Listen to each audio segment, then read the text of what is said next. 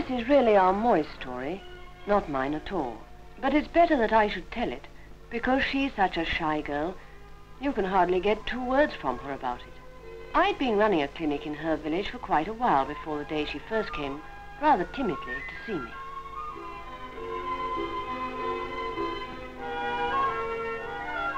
Her brother was ill, and she wanted me to have a look at him. She told me that her granny was very clever at brewing Chinese remedies, and that they usually worked well. But this time, our Moy had a feeling that her brother's fever needed something stronger, like our new drugs that had already been so successful in the village.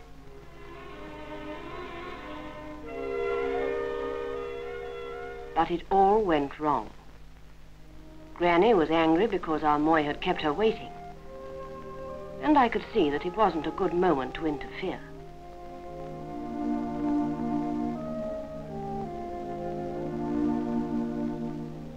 The room was very stuffy, and it looked to me as though the boy had a high fever. But I would have spoiled everything by butting in then. I had to wait until they really wanted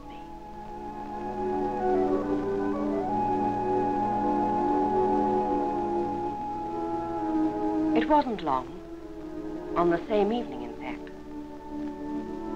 The boy was rapidly getting worse. And so the family had agreed to send for me, although Granny continued to give him her own medicines.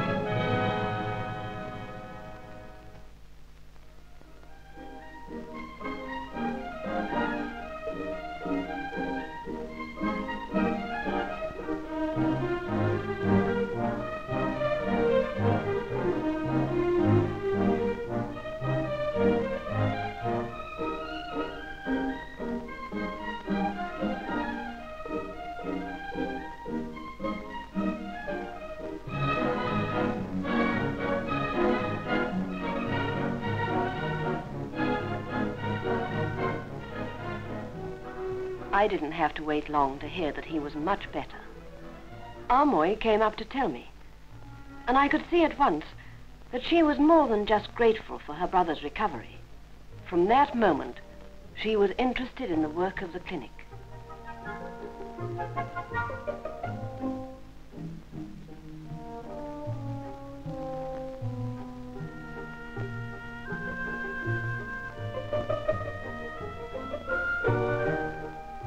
And that very first day she made herself useful by interpreting for an old man whose dialect I couldn't follow.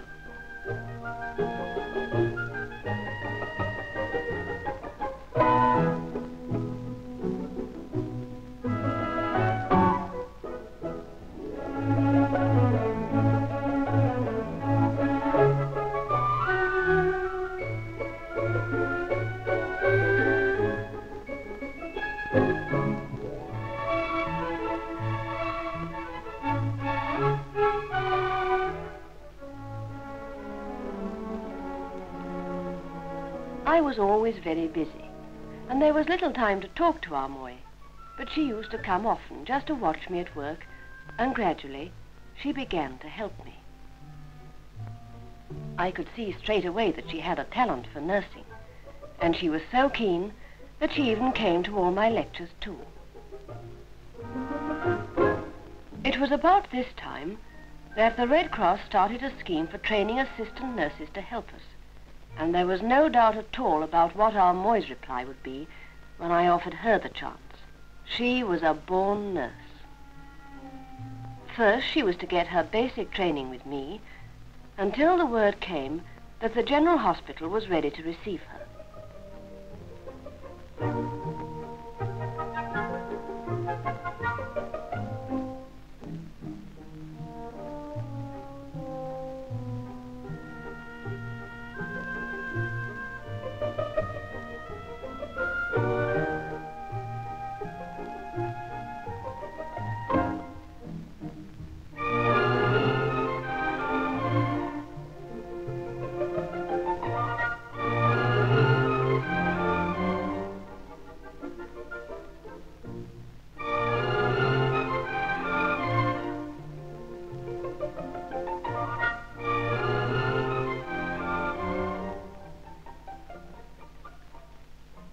It was a two years course, and though I was delighted to see our Moy go off so happily, and her family reconciled to her going, I wondered how on earth I was going to manage without her for so long.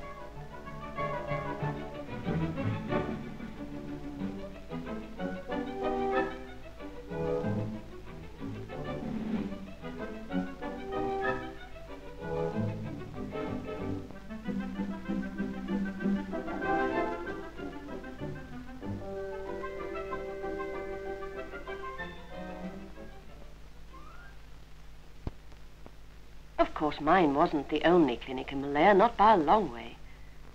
There were 34 at one time, but gradually they're being handed over to local organizations as they become trained to take over from us. We came in as emergency teams and got going all over the country, particularly among the rural people. When half a million squatters were brought together into new villages like our Moys, it was too big a task for the government medical services to cope with all at once. So the British Red Cross was appealed to for help. We worked in every state and settlement in the Federation, and among the people of all its races, in Malay kampongs and among the Aborigines, the people of the jungle.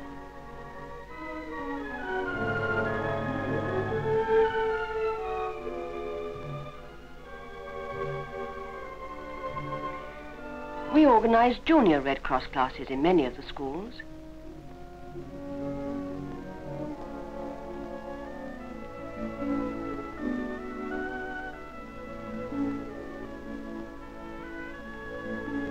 We visited rubber estates and we held clinics by the side of the road.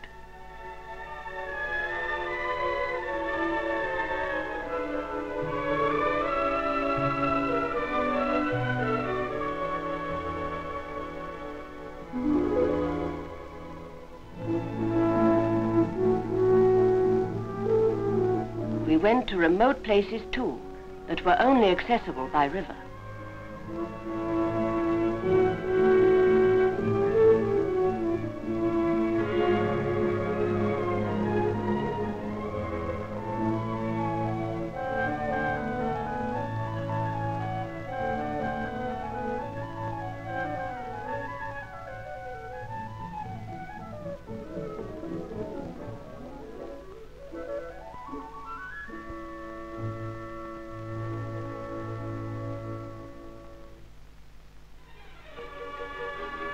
At last, the day came for our Moy to come home.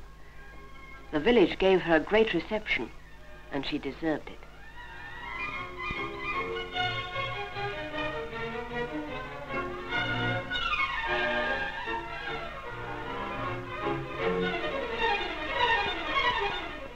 I was so proud of her. She'd grown greatly in confidence and poise.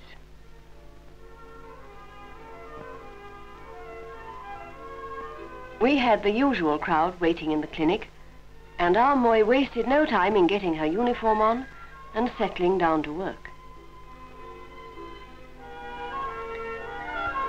I knew that soon the day would come when our job would be done, when we could hand over all the clinics to the women of Malaya, and that they would faithfully carry on the work of healing among their own people, just as our Moy had learned to do with such patience and understanding.